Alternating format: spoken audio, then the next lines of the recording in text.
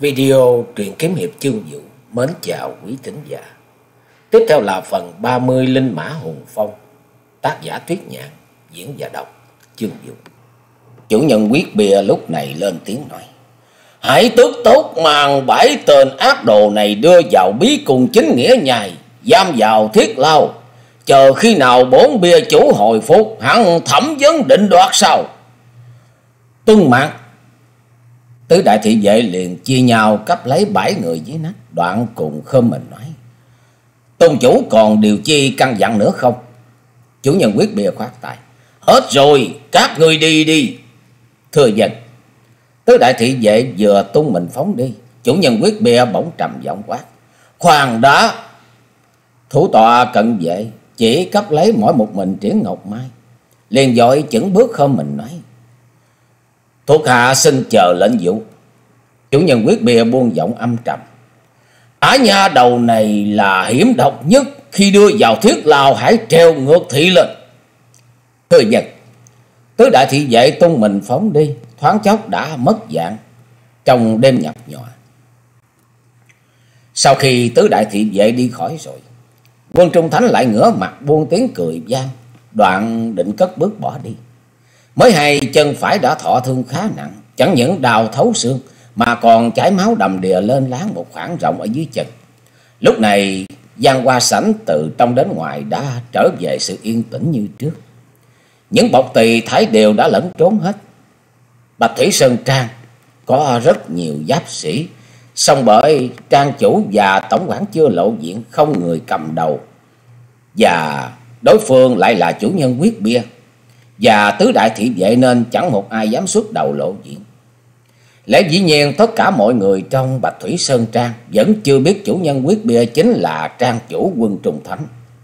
Quân Trung Thánh đứng ngẫm nghĩ một hồi, đoạn y phi thân phóng đi về phía thư phòng. Trong thư phòng vẫn như trước, Mã Tất Vũ vẫn ngồi yên trên ghế giữa, không hề động đẩy chút nào cả. Quân Trung Thánh thoáng ngần ngừ, đoạn thay đổi y phục đen, lột bao trùm đầu xuống, rồi búng đi phần tim nến đã rụi tàn, thư phòng lập tức bừng sáng.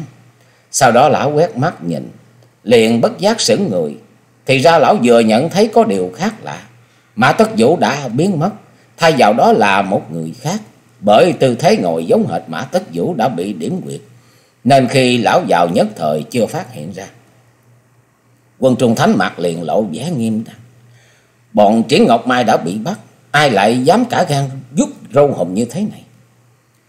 Người chết kia cũng là một lão nhân. Râu bạc, đầu phổ ngực, hai mắt nhắm nghiền. Chỉ nhìn thoáng qua cũng đủ khẳng định lão ta đã chết ít nhất đã hơn một ngày. Không có vết thương. Rất khó tìm ra nguyên nhân đã gây ra tử vong. Qua diện mạo và phục sức, quân Trung Thánh không sao xác định được. Lão nhân đã chết này có phải là người của Bạch Thủy Sơn Trang hay không? Xác chết này thì sao lại được mang đến đây thay vào chỗ của Mã Tất Vũ? Vấn đề quan trọng hơn nữa là ai đã mang đến và Mã Tất Vũ đã biến đi đâu rồi. Quân Trung Thánh bất giác lặng người. Như vậy đã chứng minh bí mật của lão không phải chỉ có quân mộ qua, dân long và Mã Tất Vũ ba người biết được mà thôi. Đồng thời thành phần dám chống đối với lão e rằng không phải chỉ có Kim Bích Cung và Đại Mạc Bằng Thành sự kiện này phải là một sự cảnh cáo nghiêm trọng đối với lão. Quân Trung Thánh đi tới đi lui trong thư phòng. Y trao mài suy nghĩ. Như đang quyết định một điều gì đó hết sức là trọng đại. Sau cùng quân Trung Thánh lại mặc vào bộ y phục đen của chủ nhân quyết bia. Trùm cả đầu và mặt. Đeo vào cổ quyết cô tỷ. Rồi dung trưởng đánh vào thi thể ngồi trên ghế. Nhưng thấy một luồng sáng đỏ phóng ra Tử thi kia trước tiên bốc lên một màu xanh, rồi sau đó lập tức phực cháy. Đoạn rồi quân Trung Thánh dung tay liên hồi, những luồng ánh sáng đỏ nhấp nhoáng, lập tức cả gian thư phòng chìm ngập trong biển lửa. Quân Trung Thánh buông tiếng cười gian, tung mình lướt đi như quỷ mị, thoáng chốc đã mất dạng. Giờ hãy trở lại với dân long và quân mộ qua. Hai người họ trên đường từ Bạch Thủy Sơn Trang trở về Thanh Dương Lãnh ở hàng thành. Dân lòng trong lòng hết sức lo lắng cho sự an nguy của tri hồn mã. Quân mộ hoa cũng tâm sự trùng trùng. Tuy nàng đã xưng hô huynh muội với dân long, quan hệ thân thiết, Nhưng trong lòng nàng vẫn bị nhiều nỗi ám ảnh đè nặng, khiến nàng lo lắng, nhất là bằng thành Bạch Phụng Triển Ngọc Mai. Mặc dù nàng chưa biết giữa Dân Long và Triển Ngọc Mai thân thiết cỡ độ nào, song qua thực tế và suy luận, chắc chắn là phải hơn mình rồi. Nàng không hiểu vì sao mình lại có cảm nghĩ như vậy. Chỉ biết ở trong lòng có một ý muốn vô cùng mãnh liệt, không thích Dân lòng thân mật với bất kỳ cô gái nào khác. Do đó hai người đều giữ yên lặng. Tô Lai Sơn chỉ cách Thái Sơn chừng bảy mươi dặm đường. Ngọn Thái Sơn sừng sững hiện ra rõ trước mắt. Kim Bích cùng trồng trích quyết cốc và chính nghĩa nhai đều nằm trong khu vực Thái Sơn. Này tuy đã rõ chủ nhân quyết bia là Bạch Thủy Sơn Trang quân Trung Thánh, song chuyện diệt trừ chính nghĩa nhai cũng chẳng phải dễ dàng gì. Dân long vô cùng cảm khái, chàng từng có ý trở về Kim Bích Cung một chuyến, song nghĩ đến cùng thì đi với quân mộ qua, thật có nhiều điều bất tiện. Bởi theo sự suy nghĩ của chúng thuộc hạ Kim Bích Cung, người con gái nào mà được tiểu cung chủ đưa về Kim Bích Cung. Đầu tiên hết chính là nữ chủ nhân tương lai của Kim Bích Cung. Do đó chàng không thể trở về Kim Bích Cung mà trái lại còn tránh xa Thái Sơn, dòng theo rừng núi phía nam Tô Lai Sơn để đến Hàng Thành. Đột nhiên có tiếng bước chân hối hả vọng lại. Dân lòng dội kéo tay của quân mộ qua rồi khả nói. Có người đến, ta hãy tìm chỗ nấp mau lên. Quân mộ qua cũng nghe thấy, nàng bèn gật đầu cùng dân long nấp vào sau một ngọn cây to. Tiếng bước chân nghe loạn choạng và rất nặng nề. Dân long cảm thấy hết sức là thắc mắc, nhưng nơi đây cỏ cây hoa lá rậm rạp. Khó trông thấy cả ngoài hai trượng, chẳng rõ người ấy là ai. Rồi thì một bóng người lão đảo đã xuất hiện trong tầm mắt. Thì ra đó là một lão nhân tóc bạc phơ, khắp người bê bết máu tươi, hiển nhiên đã thọ thương rất trầm trọng. Dân Long giật mình kinh hãi phóng ra lớn tiếng nói. Lão Bạch Sâm! Thì ra lão nhân ấy là một trong số thị tùng của nhạc phụng. Chủ nhân của cửu trùng thiên. Lão Bạch Sâm kinh ngạc nói. Ồ, dân công tử! Liền thì chân khí tản mát không còn chịu đựng được nữa. Hai chân nhũng ra rồi ngã xuống đất. Dân lòng hốt quảng kêu lên. Lão Bạch Sâm, sao lại thọ thương như thế này? Chủ nhân của lão nhạc gia huynh muội đâu rồi? Một mặt cúi xuống xem vết thương thế của Bạch Sâm. Chỉ thấy nơi bụng và lưng đều bị đâm trúng một kiếm. Nhất là thương thế nơi bụng nghiêm trọng đến mức ruột đổ ra ngoài đầm đìa máu tươi. Quân bộ qua vội đến gần và hỏi. Long ca quen biết ông ta ư? Dân Long không có thời gian giải thích nhiều, chàng chỉ nói. Ông ấy là lão bộc của một người bạn. Lão Bạch Sâm mặt trắng bệch, hai tay ôm lái, đùm ruột thò ra ngoài. Bụng thở hào hển rồi nói. Lão nô, lão nô phụng mệnh và chủ nhân đi ra ngoài đã gặp người của dạng kiếm quốc. Bọn họ toàn tiêu quỷ cứu trùng thiên rồi đến lượt Kim Bích cùng dân công tử. Xin công tử hãy giúp cứu trùng thiên. Tiếng nói của lão nhỏ dần, hơi thở yếu ớt, sau cùng hai tay duỗi thẳng ra, hồn lìa khỏi xác. Dần lòng nghiến chặt răng, mặt âm trầm nói rít qua kẻ răng. hài cho bọn dạng kiếm quốc tiêu quỷ cứu trùng thiên, rồi đến kim bích cung. Sát cơ của chàng lại bừng lên dữ dội trên gương mặt. Quân mộ Hoa thắc mắc hỏi. Long ca, đây thật ra là chuyện gì? Không cho tiểu muội biết được ư? Dân lòng khẽ câu mày nói. Lẽ dĩ nhiên là ngu ca phải cho qua muội biết. Nhưng hiện giờ không có thời gian. Qua muội có thể chấp nhận ngu ca một việc chăng? Quân mộ qua vội nói. Long Cà cứ nói đi. Nếu hợp tình hợp lý, tiểu muội nhất định chấp thuận. Dân lòng nghiêm giọng nói. Ngu Cà phải thay đổi kế hoạch. Qua muội hãy đi một mình đến Thanh Dương lĩnh đi. Quân mộ qua nhíu mày tức tưởi nói. Tiểu muội biết là Long ca muốn tách tiểu muội ra đi một mình đến cửu trùng thiên để gặp triển muội muội. Quân mộ qua này đâu có là gì. Dân Long cười khổ sở.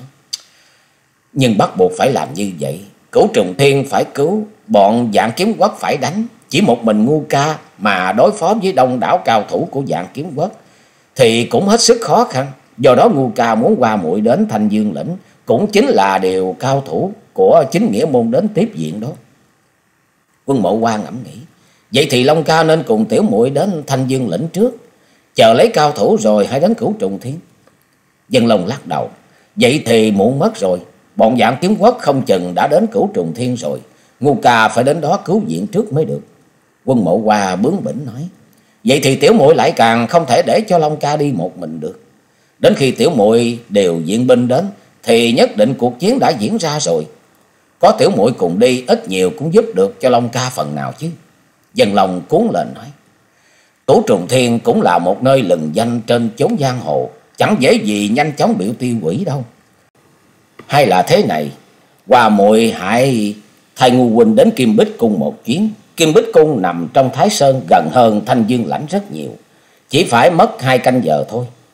Đoạn lấy ra một mảnh lụa trắng đưa cho quân mộ qua rồi nói tiếp. Đây là địa đồ của Kim Bích Cung. Cứ truyền lời của Ngô Ca bảo người của Kim Bích Cung tức khắc đến cửu trùng thiên tiếp diện. Quân mộ qua trố mắt nói. Kim Bích Cung đã gần như vậy. Tại sao Long Ca không đi cùng tiểu muội Cửu trùng thiên dù khẩn cấp đến mấy. Cũng đâu đến đổi phải lâm nguy trong hai canh giờ. Dân lòng thoáng ngập ngừng, chợt nảy ý. Bởi lẽ lão triển bằng trong kim bích cung nhất định sẽ hỏi hàng lôi thôi. Rất có thể còn cản ngăn ngu huynh đến cửu trùng thiên nữa. Cho nên cách tốt nhất là ngu ca không về thì hơn. Quân mộ qua lại ngẫm nghĩ một hồi đoạn lấy một mảnh lụa trắng trên tay của dân long và nói. Thôi được, tiểu muội đến kim bích cung. Hiển nhiên nàng vẫn có hơi giận dỗi, quay người phi thân về phía Thái sực. Dân Long khẽ thở vào, lập tức đào ngay một cái hố to, chôn lấp đi thi thể của lão Bạch Sâm rồi cũng dở thuộc khinh công phóng nhanh về phía Thái sực. Tủ trùng thiên, một nơi xưa nay đã được xem như là thế ngoại đào nguyên, giờ đây bỗng trở nên hết sức là náo nhiệt. Bóng người lố nhố khắp từ trong cho đến ngoài bốn bức tường cản bao to. Bốn cánh cửa bảo đều được đóng chặt. Thành bảo từ trên đến dưới đầy dãy những cao thủ của cửu trùng thiên. Người nào người nấy mặt mày nghiêm nghị, đào kiếm lầm lầm ở trong tay. Bên ngoài bảo thì đầy nghịch những người phục sức, sặc sỡ, rất kỳ dị. Đặc điểm chung của họ là thải đều sử dụng kiếm. Ánh thép sáng ngời như dòng biển bạc. Họ chính là bọn người của dạng kiếm quốc với sự lãnh đạo của dạng kiếm quốc dương mặt vô kê dẫn theo hơn trăm cao thủ dạng kiếm quốc kéo đến cửu trùng thiên. Lẽ tất nhiên gã dương tử đã bị dân long dùng kiếm rạch mặt cũng ở trong số ấy. Nhạc Phụng Hùng đứng trên lầu canh, đưa mắt nhìn khắp nơi bọn người của dạng kiếm quốc lao sao bên ngoài. Mặt mày của y ủ dột ra chiều hết sức là lo âu. Nhạc Phụng Linh đứng cạnh dấu môi rồi khẽ nói. Ca ca đang nghĩ ngợi gì vậy? Nhạc Phụng Hùng trao đôi mày rậm rồi nói. Ca ca đang suy nghĩ, chúng ta có nên đầu hàng hay không? Nhạc Phụng Linh trợn to mắt nói. Đầu hàng sao? Ca ca nghĩ cái quái nghĩ gì vậy? Cửu Trùng Thiên đâu phải là một nơi không có tiếng tầm trên chốn giang hồ. Sao lại có thể chưa giao chiến mà đã đầu hàng được chứ? Nhạc Phụng Hùng lắc đầu thở dài. Thứ nhất, dạng kiếm dương dẫu sao cũng là sư thúc của chúng ta. Hai nữa là cửu trùng thiên e khó chống lại dạng kiếm quốc. Vì bảo toàn cơ nghiệp của tổ truyền có lẽ đầu hàng là một biện pháp tốt nhất. Nhạc Phụng Linh dậm chân nói. Không thể được. Chúng ta tuyệt đối không được đầu hàng. Bởi ghi hận dân long vào. Mà dạng kiếm dương tử đã đâm ra căm thù chúng ta. Dù có đầu hàng thì y cũng không có buông tha cho chúng ta đâu. Hai mắt ngập lệ. Nhìn nhạc Phụng Hùng rồi nói tiếp. Hơn nữa chả lẽ ca ca không nghĩ đến. Dạng kiếm dương tử sẽ đối xử như thế nào với tiểu muội hay sao? Nhạc Phụng Hùng rúng động cõi lòng. Y trợn to mắt rồi nói. Muội muội đừng buồn nữa. ta ca sẽ nghe theo lời muội. Chúng ta quyết chống lại dạng kiếm quốc đến cùng. Dứt khoát sẽ không đầu hàng. Ôi, phải chỉ có dân long ở đây thì hay biết mấy. Nhạc Phụng Linh đầy giả tự tin nói. Nếu dân long mà hay tin dạng kiếm quốc dày đánh chúng ta. Nhất định chàng sẽ đến đây ngay. Nhạc Phụng Hùng cười chua xót nói. Nước xa không cứu được lửa gần. Đừng trông mong y thì hơn. Ngựa đèn với sự hộ tống của mấy mươi thanh trường kiếm xông tới trước cổng bảo. Dẫn đầu là một lão nhân mặc áo bào đỏ, râu đen dài phủ ngực. Hai thanh trường kiếm lủng lẳng ở bên hông mặt mày trông rất dữ tợn. Theo sau là dạng kiếm dương tử, trên mặt có một vết kiếm dài. Vậy thì lão nhân áo đỏ ắt hẳn là dạng kiếm quốc dương mặt vô kê. Nhạc Phụng Hùng đứng trên lầu canh, dội ôm quyền nói. Chúng tiểu điệt đã tiếp giá trễ tràn. Mặt sư thúc vẫn khỏe chứ? Dạng kiếm dương quốc ngước lên quát. Đã bảo tiếp giá trễ tràn, sao lại đóng chặt cổng bảo, không mau mở ra đón tiếp, có thể quả nhân sẽ thứ tội cho. Dạng kiếm dương tử cũng lớn tiếng nói. Nhạc gia huynh muội mau mở cổng ra thì còn có thể khoan dung được, bằng không cứu trùng thiên hôm nay ắt sẽ trở thành tro bụi, cam đòn không chừa một móng. Nhạc Phụng Linh tức giận nói. Mạc sư thúc, chúng tôi đã xưng hô cung kính với sư thúc, sao sư thúc lại hung hãn với chúng tôi như vậy? Nhạc Phụng Hùng cười tiếp nói. Đó là mặt sư thúc ghi hận dân long, đã dùng kiếm rạch mặt. Nghe đầu dân long hiện đang thành lập chính nghĩa môn, ở tại Hàng Châu, Thanh Dương Lĩnh. Mặt sư thúc hãy đến đó mà tìm. Dạng kiếm dương tử tức tối gầm lên. Nhạc Phụng Hùng, người thật to gan, lại dám khua mồi múa mép trước mặt ta. Cho người hay, sau khi sang bằng cứu trùng thiên, bất kể là kim bích cùng hay chính nghĩa môn, ta cũng sẽ biến nó thành tro bụi. Giang kiếm quốc dương lại quát to. Cứu trùng thiên không dám mở cổng tiếp giá ư. Giang kiếm dương tử lại tiếp lời. Phụ dương, bất tất phải nhiều lời nữa, màu hạ lệnh tấn công đi. Giang kiếm quốc dương liền trầm giọng nói. Được, bất chấp thủ đoạn đánh chiếm cửu trùng thiên. Đoạn liền rút ra một thanh bảo kiếm sáng ngời, dơ cao ở lên trời. Chúng cao thủ của dạng kiếm quốc lập tức reo hò gian dội. Rồi thì cuộc tấn công bắt đầu. Nửa số trong hơn trăm cao thủ của dạng kiếm quốc liền thi nhau ném những quả pháo to cỡ nắm tay vào trong bão. Cửu trùng thiên lập tức bừng cháy khắp nơi. Đồng thời, tám cao thủ của dạng kiếm quốc mỗi người một thanh bảo kiếm sắc bén trong tay, đâm liên hồi vào cổng ở phía đông. Cổng ở phía đông tuy là bằng gỗ tốt, và bên ngoài bọc sắt rất dày và rắn chắc, nhưng vẫn không sao chịu đựng nổi sự băm bổ dữ dội của tám đại cao thủ và tám thanh bảo kiếm. Chẳng mấy chốc nó đã dở ra thành một cái lỗ to. Tám cao thủ lần lượt phóng vào, thế là cửa cổng mở toan. Dạng kiếm quốc dương và dạng kiếm dương tử, chẳng chút chậm trễ, lập tức cùng bọn thủ hạ ùa vào. Tủ trùng thiên lúc này đâu đâu cũng rực lửa. Nhạc gia huynh muội cùng đám thủ hạ không chống cự nổi sự tấn công mãnh liệt của dạng kiếm quốc, bị dồn lùi vào trong lăng tiêu điện. Nhạc Phụng Hùng tay cầm hai ngọn đại chùy hình tròn, có phần muối, đôi mày rậm cau chặt lại, hai mắt trợn tròn, nghe tiếng la hét ở bên ngoài y nghiến răng nói: "Muội muội, xem tình hình đã khó bảo toàn được cứu trùng thiên rồi." Ngô huynh phải Nhạc Phụng Linh trố to mắt, căm hờn nói. Ca ca phải làm sao? Nhạc Phụng Hùng bậm môi nói. Huynh phải đưa muội thoát hiểm, tức tốc đến với dân lòng. Nhất định y sẽ không bạc đái muội đâu. Rồi sau này hắn nhờ sức của dân lòng tái kiến cửu trùng thiên. Muội muội hãy cố gắng mà nhận lấy trọng nhiệm ấy đi. Nhạc Phụng Linh nghiến răng kèn kẹt nói. Không ca ca, chúng ta sống chết có nhau. Muội muội không thể nào bỏ rơi ca ca mà thoát thân một mình trừ khi hai chúng ta cùng đi khỏi đây một thể. Nhạc Phụng Hùng dậm chân nói, ôi muội muội đã đến nước này mà muội còn không nghe lời của ngu huynh hay sao? Nhạc Phụng Linh định đáp, chợt nghe tiếng cười gian dội. Một bóng người nhanh như chớp vượt qua đỉnh đầu của mấy lớp cao thủ cửu trùng thiên. Vào đến lăng tiêu điện người ấy chính là dạng kiếm dương tử. Nhạc Phụng Hùng liền dung dãy đôi đại trụy ở trong tay rồi quát. Mạc sư thúc đừng bức người quá đáng nhá. Giang kiếm dương tử cười hô hố. Bức người quá đáng, nhạc phụng hùng. Người thử nghĩ hôm trước hai huynh muội của người đã ngắm ngầm giúp cho dân lòng để hắn làm cho mặt mày của ta trở nên như thế này. Nay ngươi lại còn đào hào đắp lũy, cố tình chống lại dạng dương kiếm quốc. Vậy mà còn bảo ta bức người quá đáng. Các ngươi còn lương tâm không hả? dạng Phụng Linh tiến tới một bước rồi nói. Mạc sư thúc muốn sao? Dạng kiếm dương tử cười u ám. muốn ờ, nhạc cô nương trước hết bản dương muốn hỏi một điều. Nhạc Phụng Linh ngầm nháy mắt ra hiệu cho Nhạc Phụng Hùng đoạn nói. Xin sư thúc cứ nói. Dạng kiếm dương tử cười. cô nương thấy gương mặt của bốn dương tử so với khi trước xấu xí hơn nhiều, có phải không? Nhạc Phụng Linh dội nói. Sư thúc là một đấng kỳ tài và lại là quốc dương tương lai của dạng kiếm quốc. Diện mạo có chút khuyết điểm thì có đáng kể gì đâu. Dạng kiếm dương tử bật cười. Vậy là cô nương không chê bốn dương xấu xí chứ gì. Nhạc Phụng Linh cười ngọt nói. Sư thúc nói gì lạ vậy? Bất luận duyên mạo xấu hay đẹp. Thì cũng là sư thúc. Tiểu Điệt làm sao dám chê sư thúc xấu xí được chứ? Chẳng lẽ quan hệ chúng ta không sửa đổi lại được hay sao?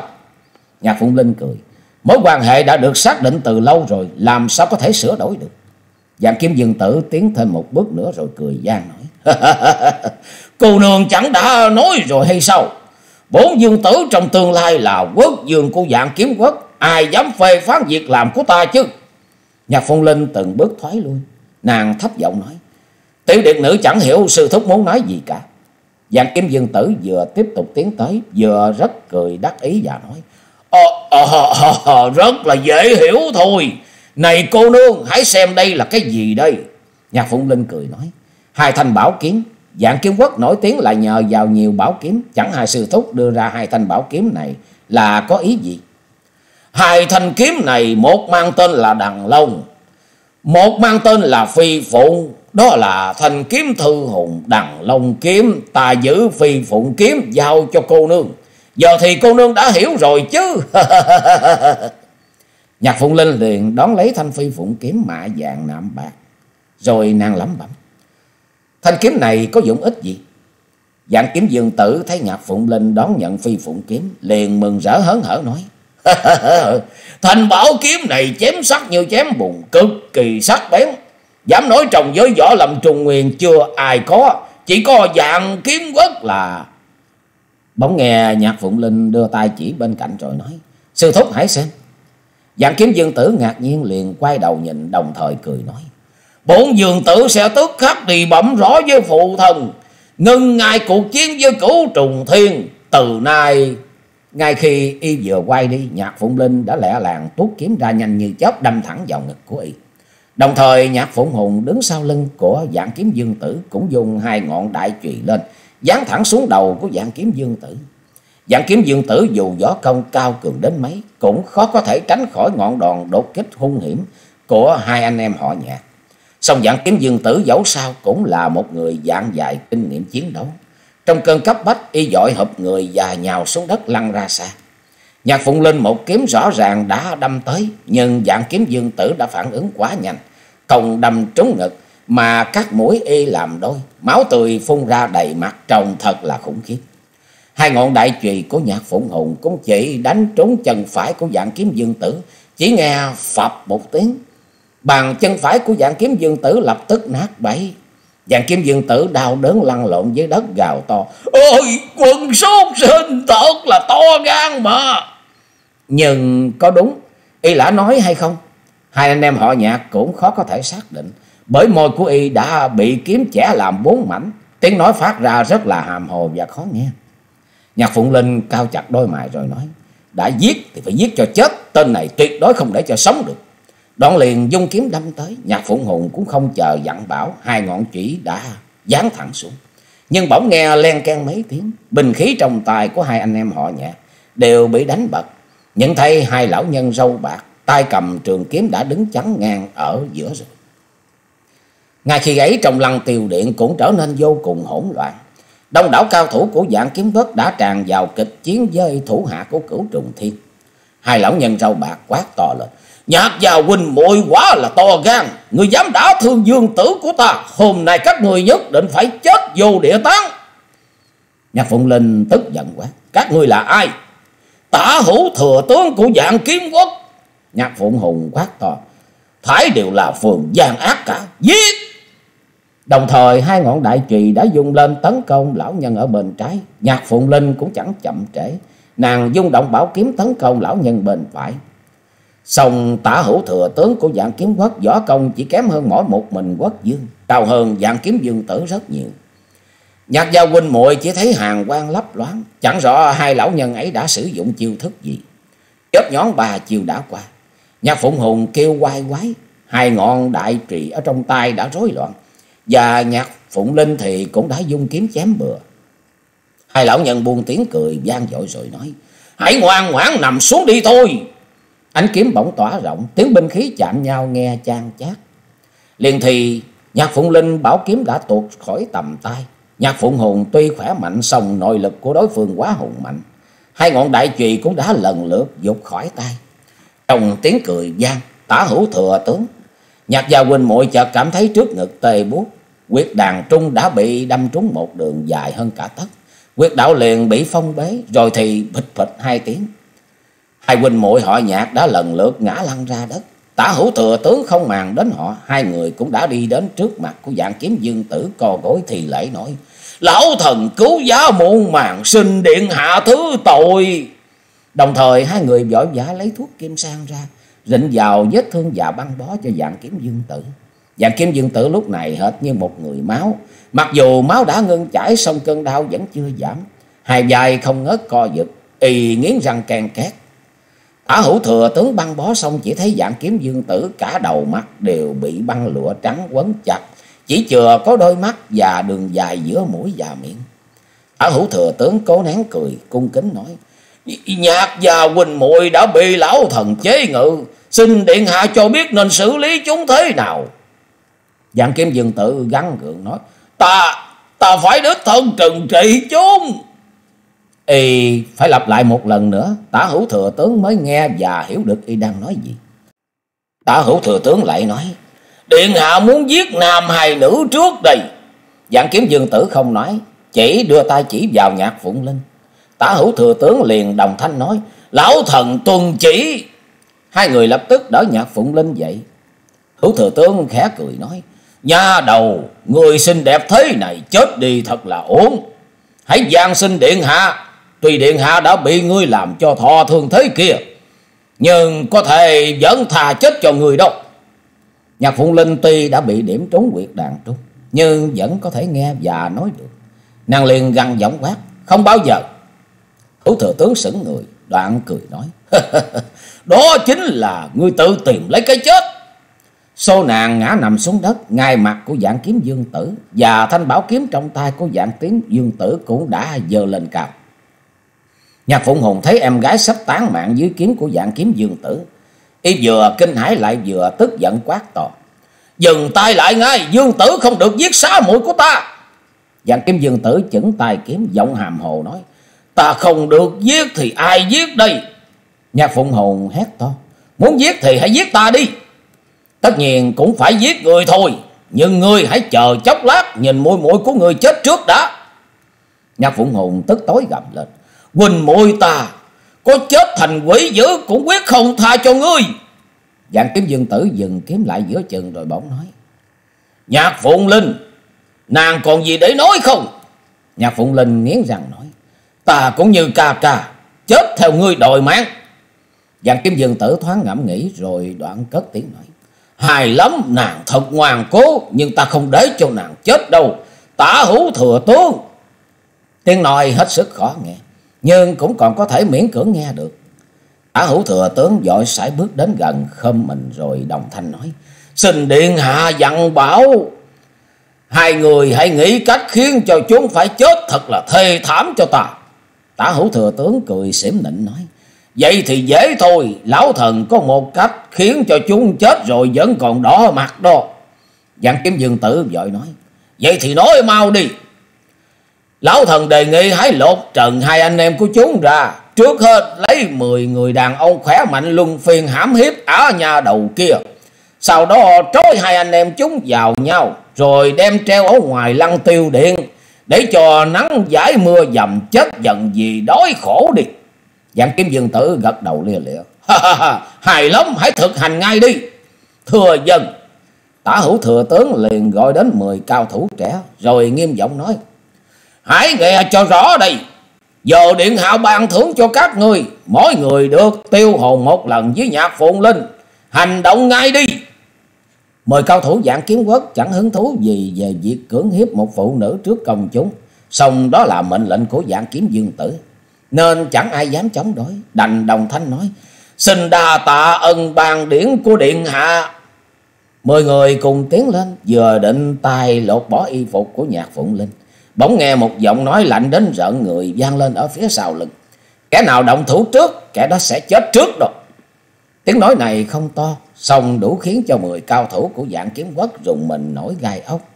Dội cùng quay phát người lại, nhận thấy một thiếu niên áo trắng phong từ tuấn nhã, đã đứng ngoài một trượng chính là Kim Bích Cung Chủ Dân lộc, Nhạc Phụng Hùng mừng rỡ kêu gian. Dân công tử hãy mau cứu xá muội Nhạc Phụng Linh cũng kích động kêu lên. Dân công tử. Xong nàng chẳng biết nói gì mới phải. Đành im lặng. Hai dòng nước mắt rơi xuống lã chả. Dạng kiếm dương tử phẫn hận quát lên. Hắn chính là dân long. Không được buông tha cho hắn. Tả hữu thừa tướng cầm trường kiếm tiến đến gần dân long đồng thanh quát. Các người hãy hành động đi. Hai cao thủ dạng kiếm quát thoáng ngẩn người đoạn dẫn trước. Dùng tay chớp vào nhạc phụng hùng. Giúp giúp. Hai luồng ánh đỏ chớp ngời. Hai cao thủ của dạng kiếm quất tức thì ngã lăn ra đất chết ngay. Tả hữu thừa tướng đồng thanh la lên. Ô, Ánh quyết hoàng! Hãy tiếp kiếm đi! Ánh thép chớp ngời. Hai người nhất tề xuất kiếm, tấn công vào dân long. Song hai thanh kiếm của họ đã rơi vào khoảng không. Chẳng hiểu bằng cách nào dân long đã vòng ra sau lưng của tả hữu thừa tướng. Ung dung tránh khỏi hai chiêu kiếm hung hiểm của họ. Đồng thời những ánh đỏ rực lên. Một dòng sáng đỏ xoay nhanh khôn tả. Lại còn có bốn cao thủ của dạng kiếm quốc ngã gục. Trên trán mỗi người đều có một dấu chưởng thu nhỏ. Thế là mười cao thủ chỉ còn lại có bốn. Bởi kinh khiếp trước quy thế của dân long. Không ai còn dám vọng động nữa. Tả hữu thừa tướng một chiêu hụt hẫng, tức tốc sai người lẻ làng tấn công tiếp bà thế kiếm. Dân lòng buồn tiếng cười khải, ánh bạc chớp ngời. Những nghe binh khí chạm nhau nghe chát chúa. Hai thanh kiếm trong tài của tả hữu thừa tướng đều đột ngột bị dội ra. Đồng thời dân long với tốc độ nhanh đến chóng mặt. Phóng ra hai luồng chỉ phong, quyệt đạo của nhạc phụng hồn và nhạc phụng linh đều được giải khai. Tả hữu thừa tướng kinh hoàng thất sắc dùng kiếm toàn lao tới tiếp tục tấn công. Dân long bóng trầm giọng quát. Dân mổ đã hai lần nương tay cho vì không muốn gây nhiều chết chóc. Hai người nên biết ăn năn hối cải, không tiếp tục nói giáo cho giặc nữa. Thì sẽ được miễn chết bằng không, dân mổ sẽ không có khách sáo nữa đâu. Á hữu thừa tướng đưa mắt nhìn nhau, bỗng cùng sập quỳ xuống đồng thanh nói. Bọn lão ô xin quy hàng. Bởi hai người đã nhận thấy rất rõ võ công của dân long quả thật là vượt xa họ quá nhiều. Nếu tiếp tục chiến đấu chắc chắn là họ sẽ tán mạng tại đây. Lúc này tiếng la hét vẫn vang động ở bên ngoài, lăng tiêu điện. Đồng thời ánh lửa ngút trời tình thế vô cùng hỗn loạn. Nhạc gia huynh muội vừa được giải khai quyệt, liền tức tốc đứng lên nhặt lấy vũ khí xông ngay vào trận chiến. Tả hữu thừa tướng đã quy hàng. Trong lăng tiêu điện chỉ còn lại có bốn cao thủ trẻ của dạng kiến quốc. Họ đâu phải là đối thủ của anh em họ nhạc. Không đầy ba hiệp đã bị ngọn đại trùy của nhạc phụng hùng đánh chết một người. Ba người còn lại kinh hoàng bỏ chạy ra ngoài. Tả hữu thừa tướng sớm đã buông bỏ binh khí, buông thõng hai tay đứng chờ phân xử. Nhạc Phụng Linh ném cho Dân Long một cái nhìn đầy cảm kích. Đoạn cầm kiếm đi về phía dạng kiếm dương tử. Dân Long thấy vẻ thảm não của dạng kiếm dương tử bất giác cười khải nói. Nhạc cô nương, người này chính là dạng kiếm dương tử ư? Nhạc Phụng Linh nghiến răng nói. Chính là tên xuất sinh ấy. Dạng kiếm dương tử vội năng nỉ. Xin hãy tha mạng. Mạc mổ cầm đòn sẽ bảo phụ dường tước khắc lùi binh. Kể từ nay sẽ không bước chân vào Trung Nguyên và cũng không dám gây sự với các vị nữa. Dân Long cười khải nói. Người nói gì? Sao dân mổ chẳng nghe được tiếng nào cả vậy? Nhạc Phụng Linh phì cười nói. Khi nãy đã bị chém toát mũi miệng. Cho nên tiếng nói của y mới khó nghe như vậy. Dân Long cười. Cuộc chiến bên ngoài đang ác liệt. Dạng kiếm quốc dương cùng thần liêu đắc lực của lão hiện đang ở quan huệ điện chờ báo tin. Có lẽ chưa hay biết con trai quý báu của mình đã ngộ nạn. Chúng ta hãy nhanh chóng giải quyết bọn họ thì hơn. Nhạc Phụng Linh dội lên tiếng nói. Dân, chính tài tôi sẽ lấy mạng tên xuất sinh này. Dân Long mỉm cười nói. Bộ dạng của hắn thảm não thế này cũng đủ lắm rồi. Hãy tha mạng cho hắn đi. Nhạc Phụng Linh ngạc nhiên nói. Dân công tử, tại sao bây giờ lại trở nên từ bi vậy? Nếu mà thời gian không cấp bách nhất định tôi phải băm dầm hắn ra làm muôn mảnh mới hả dạ đó. Đoạn bất chấp ý kiến của dân lòng dùng kiếm chém ngang lưng của dạng kiếm dương tử ra làm hai khúc chết một cách thê thảm. Nhạc Phụng Linh tra kiếm vào bao, bỗng nghe một giọng giận dữ gầm lên. Lũ hung đồ quá là to gan, dám sát hại ái tử của cô già. Các người hôm nay ai cũng đừng hòng sống sót. Thì ra dạng kiếm quốc dương mạc vô kê đã đến cùng với thủ hạ tứ đại thần kiếm. Dân lòng buông tiếng cười khải đứng cản đường nói. Tôn giá chính là dạng kiếm quốc dương hay sao? Dạng kiếm quốc dương tức giận. Trừ phi mắt chó của người đã đuôi mù. Không thì nhất định phải nhận biết. Người này là ai chứ? Dân lòng buông giọng sắc lạnh.